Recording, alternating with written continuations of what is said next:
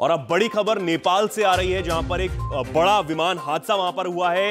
ये विमान जो है वो काठमांडू से पोखरा जा रहा था, तब ये विमान हादसा यहाँ पर हुआ है। क्रैश हो गया विमान।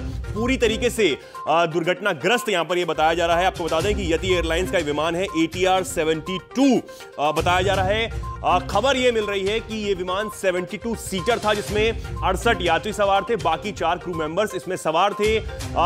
अब ये जो तस्वीरें हैं, ये निकलकर सामने आई हैं। स्क्रीन पे आप देख सकते हैं किस तरीके से जो ये भयानक हादसा हुआ है। उसके बाद जो राहत बचाव का, जो कार्य है, वो यहाँ पर चल रहा है। रेस्क्यू ऑपरेशन यहाँ पर चलाया जा रहा है। जो लोग हैं, उनके बीच काफ़ी दहशत है, क्योंकि ये बड़ा विमान हादसा यहाँ पर देखा गया आपको बता दें कि पहाड़ी से टकराकर नदी में जाकर गिरा है विमान। लगातार जो टीमें हैं वो यहाँ पर रेस्क्यू करने के लिए पहुँच गई हैं। जो लोग हैं वो यहाँ पर मदद करते हुए दिखाई दे रहे हैं। स्थानीय लोग यहाँ पर टीम के साथ जुटे हुए हैं लोगों को बाहर निकालने के लिए।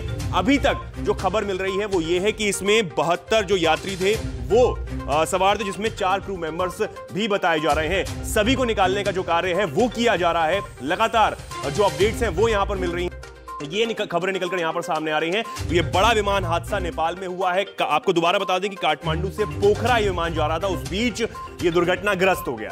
और अब इस मामले में बड़ी अपडेट ये मिल रही है कि अब तक 16 शव बरामद कर लिए गए हैं। हालाँकि रेस्क्यू ऑपरेशन अभी भी जारी है। लोगों को बचाने का, निकालने का काम अभी भी लगातार किया जा रहा है। टीमें वहाँ पर लगी हुई हैं। एयरपोर्ट को बंद कर दिया गया है। ना ही कोई जो विमान है वो यहाँ पर लैंड करेगा और ना ही यहाँ से टेक ऑफ़ करेगा। तो ये बड़ी खबर नेपाल से है, जहाँ पर 16 शव इस हादसे के बाद अब तक बरामद कर लिए हैं।